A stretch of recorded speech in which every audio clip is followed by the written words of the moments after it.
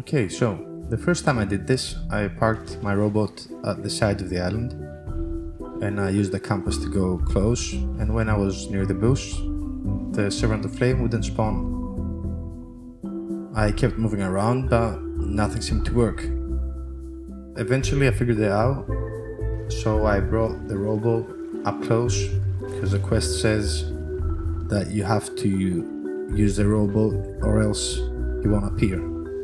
So make sure you smash the rowboat on the beach, keep it really close, so the Servant of Flame appears both on Cannon Cove and Twin Groves.